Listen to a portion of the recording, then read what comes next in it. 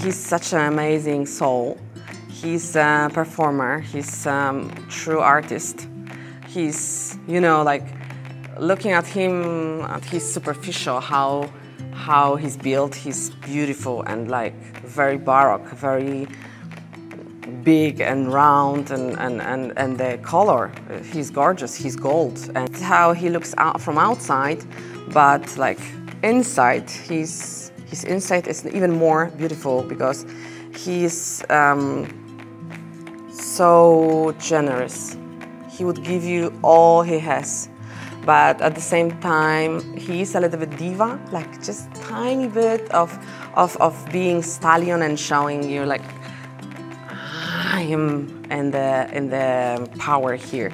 He loves people. He's just um, looking for attention and he's just smiling, showing off. Um, he knows lots of tricks, not because I taught him them, but because he's so pro people and, and trying to find the attention that he's always showing off.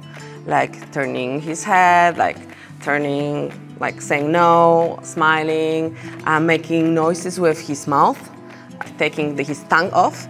And those things are reserved only for like um, uh, intimate moments horses, they can do that, but they never do it to people or uh, like in the, in the stressful situation, right? To have the horse that is like actively uh, giving those movements and showing the, the, those tricks and, and wanting to show them to the people, it's something special. It's, it must be a special horse to, to be able to do that in a stressful situation because it means that he's actually very relaxed, very happy in this situation and he just wants to show off and when he sees a lot of people, it's like you can see the level of, of showing off is uh, increasing and he's even more excited. He, you can see that in his eyes, beautiful blue eyes.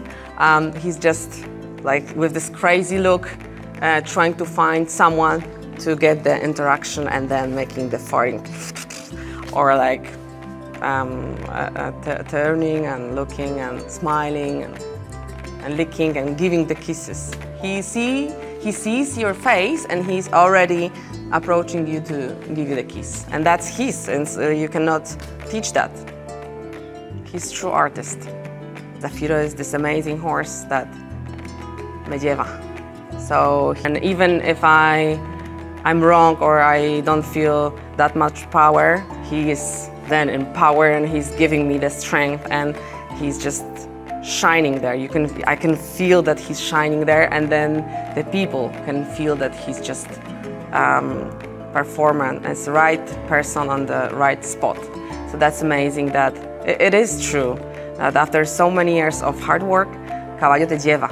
He's, he's delivering the show. 嗯。